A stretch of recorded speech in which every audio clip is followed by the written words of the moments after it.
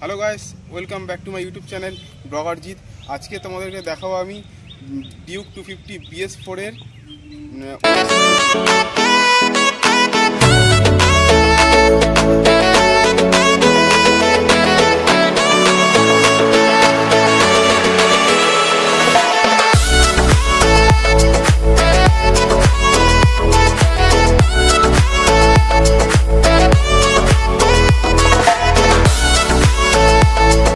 আমার গাড়ি আপাতত চলেছে।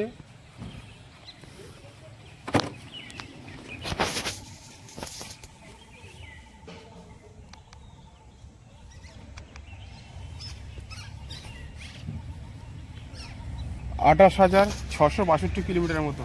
তার ফ্রেন্ডস তোমাদেরকে এটা বলে রাখি যে আমি গাড়ি চালিয়ে, এতদিন গাড়ি চালিয়ে যে মানে পারফরমেন্সটা পেয়েছি, সেটাই তোমাদের কাছে শেয়ার করব। এবং জানাব যে এই ডিউক টু ফিফটির কী কী মানে ভালো দিক, কী খারাপ দিক, সমস্ত কিছু তোমাদেরকে ইনফরমেশান দেবো। তো ফ্রেন্ডস তোমাদেরকে বলে রাখি যে ডিউক টু ফিফটি বিএস ফোরের গাড়িতে যে তোমরা মানে লাইটটা দেখতে পাচ্ছ, এটা কিন্তু এলইডি নয় হ্যালোজিন হ্যালোজিন লাইট ঠিক আছে? আর এছাড়া এই গাড়িতে যে ইন্ডিকেটারগুলো এগুলো এলইডি রয়েছে। আর এছাড়া এই গাড়ির মেনলি আর একটা জিনিস মানে যেটা দেওয়া উচিত ছিল, সেটা দেয়নি কোম্পানি যে দু হাজার আট, সতেরো, আঠেরো মডেলের ডিউক ডিউক টু ফিফটি কিন্তু এবিএস সিস্টেম নেই কিন্তু হ্যাঁ? গাড়ির কিন্তু এবিএস সিস্টেম নেই, এটা কিন্তু নন এবিএস ঠিক আছে? সতেরো, আঠেরো মডেলগুলোর কিন্তু এবিএস ছিল না নন এবিএস এটা কিন্তু কোম্পানির একটা কারণ, এত বড় হাই সিসির গাড়িতে মানে দুশো আড়াইশো সিসির গাড়িতে মানে এবিএসটা কিন্তু খুবই গুরুত্বপূর্ণ। সেটা দেয়নি, সেটা কি করা যাবে?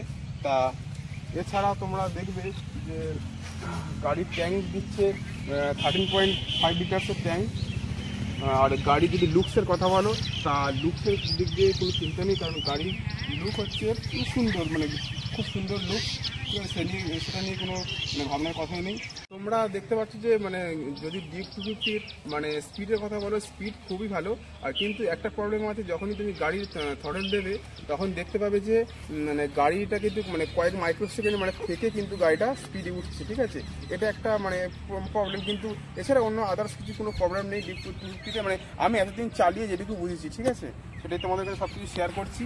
আর গাড়ির যদি সিটের সিটের কন্ডিশনে বলো, তো রাইডার সিট তো খুবই ভালো মানে কোনো মানে কমফোর্টেবল আর এমনকি যদি কেউ মানে পিলিয়ানের জন্য মানে সিট অনেকটাই দেখছেন আমরা কতটা চওড়া আছে মানে বসার ক্ষেত্রে কোনো সমস্যা কিছু নেই।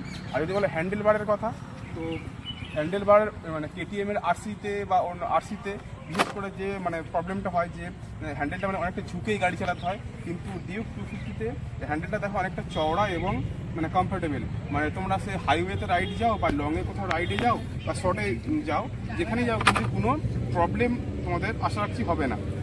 আমার তো কোনো প্রবলেম হয় না, এটা তো ফ্রেন্ডস গাড়ির পেট্রোলের দাম মানে বর্তমান যুগে যা বেড়েছে সেই হিসাব করলে যারা মানে কেটিএম ডি টু ফিফটি মানে কেটিএম নেবে বলে চিন্তা করেছ, তাদেরকে মানে বলব যে মানে সাজেস্ট করব যে ডিউক টু ফিফটি তাদের নিয়ে বেটার হবে। কারণ কেন? তোমরা ডিউক টু হান্ড্রেডে গেলে তোমরা সেই পাওয়ারটা কিন্তু পাবে না। টু হান্ড্রেডে সেই পাওয়ারটা পাবে না।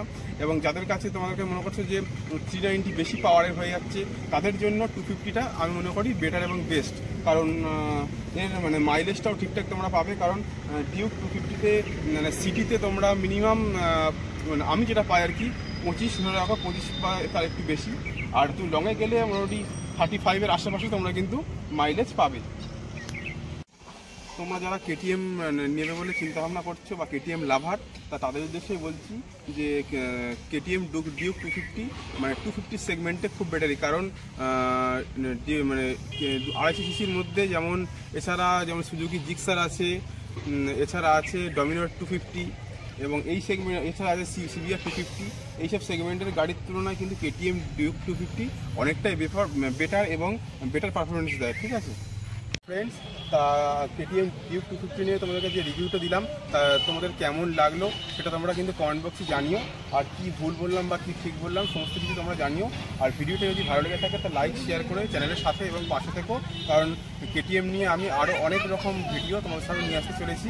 তো দেখা হচ্ছে নেক্সট কোনো ভিডিওতে Gandhi.